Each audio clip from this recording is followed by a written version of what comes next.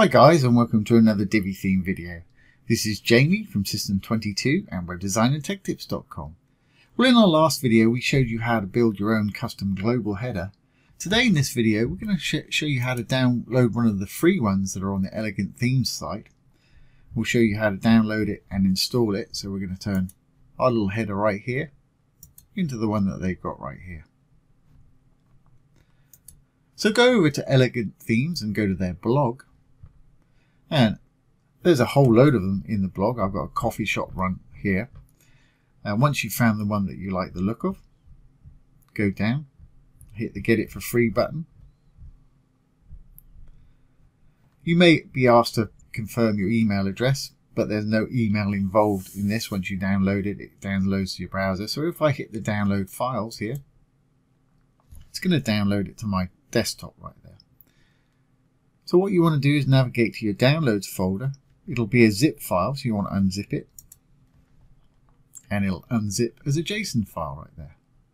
Okay, once you've got it unzipped as a JSON file, what we need to do is go to our Divi Builder and down to the library. So let's close these up and I'll show you exactly how to get there. I'm going to go down to my dashboard. I'm going to go down to Divi. I'm going to go to Theme Builder. This is where we built our custom global header. Now today we're going to import this one. So what we need to do is go up to these double arrows on the right hand side here, portability, and then we want to say import. Then we want to find the file,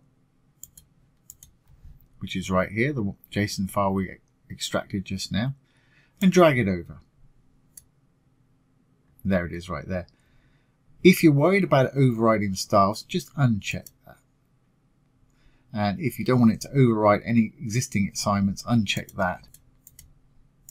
I'm going to leave both of mine checked. I'm going to drag my JSON file over, just drop it in there, or you can browse to it if you want to. I'm going to say import Divi theme builder template. And there we are. It's assigned it to our global header automatically. Let's save our changes here. If we go to our site, still got our old one up there. Let's refresh this. Roll on down. There's our new one.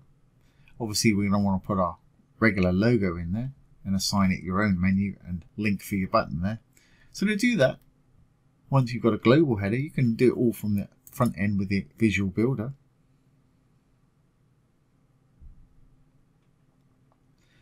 We'll roll up here, we'll say edit header template. I want to go into that little menu module there, little cog. And choose the menu, it's got to be one that's saved to your menus in your dashboard there. If you don't know how to do that, have a look at our how to create menus video. Top's fine for me, so I've got the right menu there. But I do want to put my logo in rather than Divi logo. So let's go down to logo, trash that one. Add our own. It's a dark background, so I'll use a light logo. And my logo's coming as way too big there, but that's fine. Let's just go over design, down to sizing. Here we've got logo width. You can just shrink it down to the size that you want it. So all menu items fit in there nicely.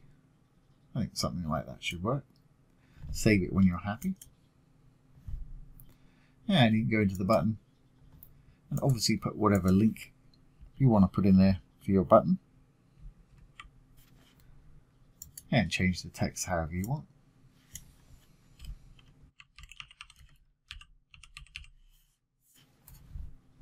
As you can see, that's all in there. When you're happy, you can simply save. Let's save the page changes. And exit the Visual Builder. And there we are, we've got a perfectly new header and that'll be across all the pages. Here it is on our services page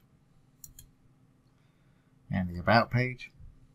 At the moment it's a static header so when we roll up the page it's going to disappear off the top which is fine but if you want to make it sticky it's really easy. Let's enable the visual builder again. We'll go into our header once more into the header template. And we've got two sections there. So let's go into these sections. over to advanced scroll effects and I'm simply going to make them stick to the top and I'm going to do the same for the one underneath advanced scroll effects stick to top when you're happy save your changes we'll save our page changes and exit the visual builder now when we roll down the page, our menu is staying at the top for us there. So there you go guys, there's how to import one of the free header templates from the Divi Elegant Themes site.